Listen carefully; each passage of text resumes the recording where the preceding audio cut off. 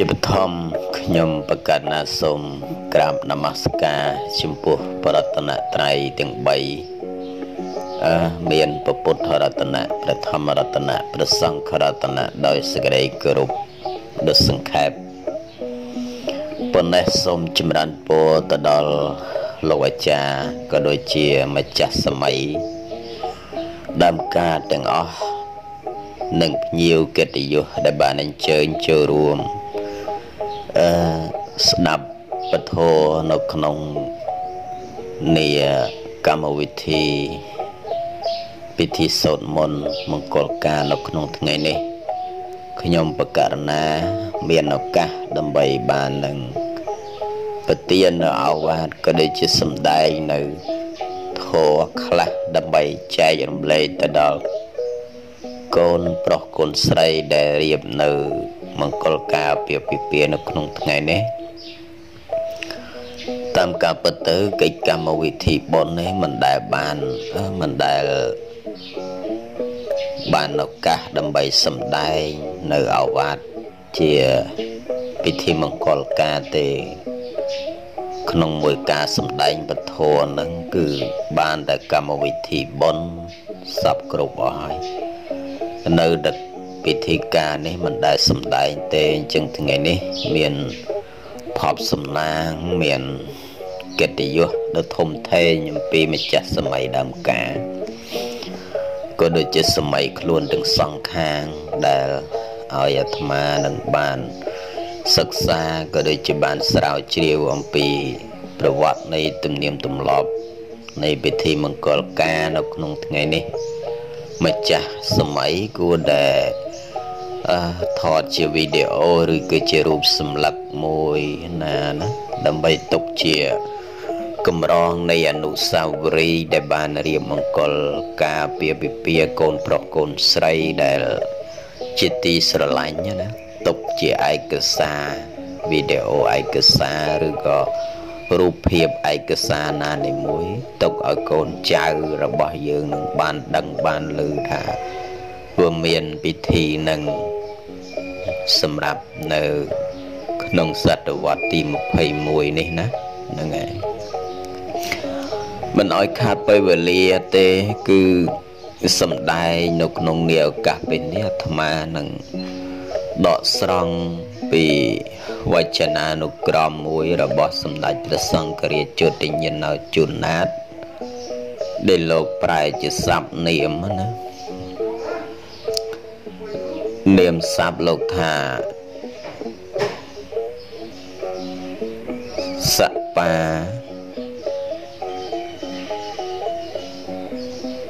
អវិហៈបូកនិងវិវិហៈខ្មែរប្រើផ្លាស់វយជាពណ៌ថាមង្គលការជាគូបរសស្ត្រីអាណាដែលបាននាំមកហើយនាំត្រឡប់ ទៅវិញជាពីរលើកហៅថាមង្គលការពាពិពាដោយពេញច្បាប់អត្ថាធិប្បាយនៅក្នុងគម្ពីរប្រែស័ព្ទលោកថានាំកូនស្រីមកកាន់លំនៅឋានខាងកូនប្រុសហៅថាអពាឬក៏អវហៈនាំកូនស្រីមកកាន់លំនៅឋានខាងកូនប្រុសឬក៏នាំកូនប្រុសមក កាន់លំនៅឋានខាងកូនស្រីវិញហៅថាពិពាឬក៏វិវាហមង្គលក៏ប៉ុន្តែតាមទំនៀមខ្មែរគឺត្រូវតែនាំកូនប្រុសមកខាងលំនៅឋានខាងកូនស្រីមុនហៅថាអាពាហ្នឹងគឺធ្វើពីល្ងាចលុះវេលាព្រឹកឡើង ត្រូវតែនាំកូនស្រីនឹងទៅចូលខាងរោងខូនប្រុសហៅថាពីពាមង្គលការទាំងពីរបែបនេះហៅថាមង្គលការអភិពិពាបើធ្វើត្រឹមតែអពាហៅថាអវិហមង្គលបើធ្វើត្រឹមតែពិពាហៅថាវិវិហមង្គលរួមស័ព្ទទៅអាពានិងពីពានឹងលោកថាអាពាប្រែថានំ អាពាប្រែថានំមកនៅប្រុសពន្លកជាគូភ្ងាមកផ្ទះខាងស្រីតាមវេលាពីពៀប្រែថានាំស្រីទៅវិញនៅក្នុងពិធីមង្គលការទាំងមូលនេះគឺយើងឃើញកម្មវិធីធំធំ3កម្មវិធីទី1ហៅថា កម្មវិធីដែលជាទំនៀមទម្លាប់នៃប្រពៃណីជនជាតិខ្មែរសុទ្ធ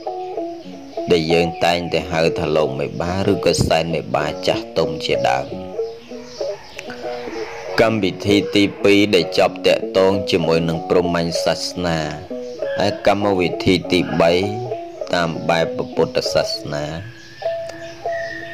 ពិធីទី1ដែលហៅថាជាទំនៀមទម្លាប់នៃប្រពៃណីជនជាតិខ្មែរសុទ្ធហ្នឹងគឺអត់មាន ទៅចម្លងក៏ដូចជាទៅសិក្សារៀនប្រវត្តិឯកសាររបស់ជនបរទេសណានីមួយឬក៏ប្រទេសជាតិណានីមួយយកមកធ្វើជាប្រពៃណីខ្លួនឯងទេ គឺជាប្រពៃណី របស់ជនជាតិខ្មែរដើមយើងសុទ្ធសាធតែម្ដង គឺវាមានកម្មវិធីខ្លីខ្លះវែងខ្លះទៅតាមលទ្ធភាពទៅតាមសមត្ថភាពទៅតាមធនធានណាដែលជាម្ចាស់សម័យអឺដើមការទាំងសងខាងនឹងមានឬក៏តាមលទ្ធភាពដែលខ្លួនឯងពេញចិត្តចឹងទៅកម្មវិធីវែងយើងឃើញមានកម្មវិធី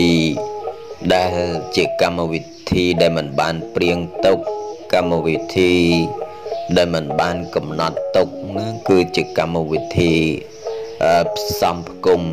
នៅក្នុងសម័យ3ឆ្នាំ8ខែ20ថ្ងៃជាដើមកម្មវិធីនោះគឺគឺការផ្គូផ្គងក៏ដូចជាការជ្រើសតាំង មានអង្គការនឹងឯងគឺជាអ្នកផ្សំផ្គុំរវាងស្ត្រីបុរសណាណាដែលត្រូវយកមកលើកដាក់ជាធ្វើជាប្តីជាប្រពន្ធណាគឺយើងអត់មានការចូលដណ្ដឹងទុកទេ គឺគេផ្សំផ្គុំឲ្យយើងម្ដង10គូឬក៏20គូឯនេះជាដើមកូន កំឡោះកូនកំមុំហ្នឹងគឺត្រូវតែបដិញ្ញារវាងគ្នានឹងគ្នាថាស្រឡាញ់គ្នាណាស្រឡាញ់គ្នាលុះអវសាននៃជីវិតចឹងទៅឬក៏បដិញ្ញាថានឹងធ្វើការធ្វើស្រែស្រូវជូនអង្គការ ក្នុងមួយឆ្នាំឲ្យបាន3ដងណាជាភយោភាពជាមហាលោតផ្លោះមហាអស្ចារ្យចឹងទៅ នេះគឺជាការបដិញ្ញាចិត្តរវាងអឺគូថ្មីដែលបានទៅនឹងសំគុំហើយនឹងឯងបានជួបគ្នាតែមួយយប់ទេលុះព្រឹកឡើងនឹងក៏ត្រូវបែកគ្នាទៅធ្វើការរៀងរៀងខ្លួនទៅមិនដឹងថាធ្វើការនៅឯណានៅចិត្តឬក៏នៅឆ្ងាយទេ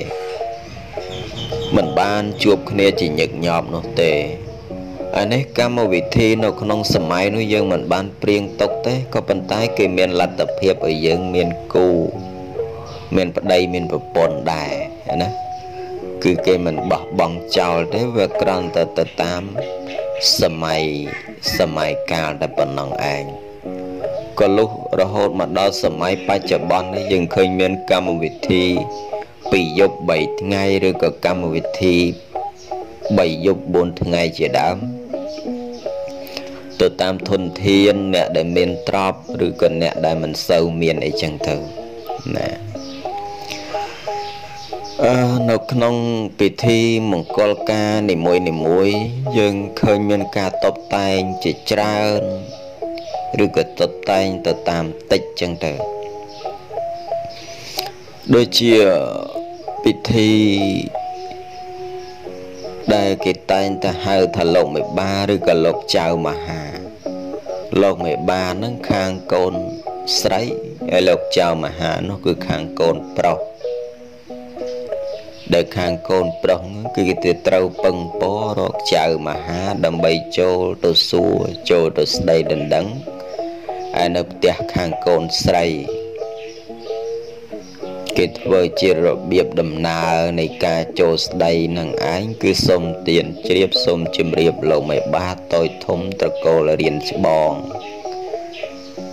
សូមផ្លូវដើរសូមចិនដើរឡើងសូមផ្ទះជ្រកហើយក៏គេនិយាយជើងការរវាងចៅមហានិងមេបានឹងទៅណានៅជុំជុំគ្នានៅលើផ្ទះហ្នឹងណា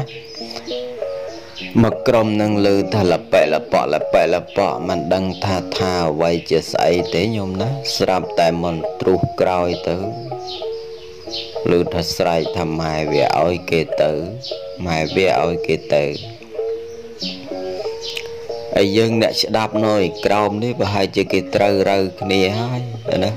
ណាត្រូវរើគ្នាហើយ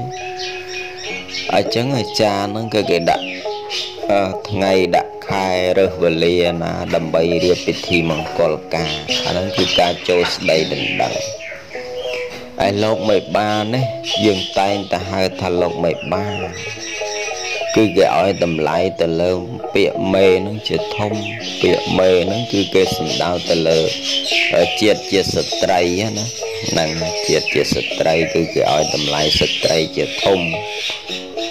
ដែលយើងតែងតែហៅថាមេត្តា ស្ត្រីជាមេត្តានៃពិភពលោកសំបីតែពពុទ្ធបានប្រសូតមកក៏នៅក្នុងជាតិជាស្រីមុននឹងបានត្រាស់ដឹងសោយចង្ហាន់នាងសជាតិតាក៏នៅក្នុងជាតិជាស្ត្រីក៏លុះពេលដែលព្រះអង្គបានផ្ចាញ់មាណាមាននាងកង្ហីងពធរណីនោះស្បូតសក់ឲ្យចេញកពើមួយមកហ្នឹងក៏នៅក្នុងជាតិជាស្ត្រីដែរ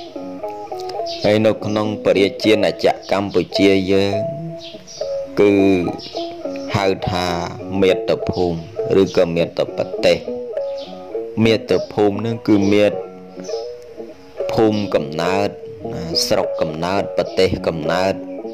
ដែលយើងបានកើតនៅក្នុងមេត្តភូមិហ្នឹងណាដែលប្រទេសយើងពីសម័យមុនហ្នឹងគឺមានស្ដេចស្រីអ្នកគ្រប់គ្រង ដែលហៅថាពនាងលាវយីឬក៏បបាទហ៊ុនទៀនស្ត្រីសោមាឬក៏ព្រាមកៅដិនជាដើមដែលជាអ្នកគ្រប់គ្រងបកបកើតនៅប្រទេសខ្មែរយើងនឹងឯងអញ្ចឹងបានគេហៅថាមាតុភូមិនេះឯងហើយយើងតែងតែហៅថាលោកមេភូមិលោកមេឃុំលោកមេស្រុកលោកមេខេត្តឬក៏លោកមេប៉ោះ មិនដែលមាននរណាហៅថាលោក បាភូមិបាឃុំបាស្រុកឬក៏បាខេត្តបាប៉ោះទេគឺគេអត់ហៅអញ្ចឹងទេគេហៅថាមេ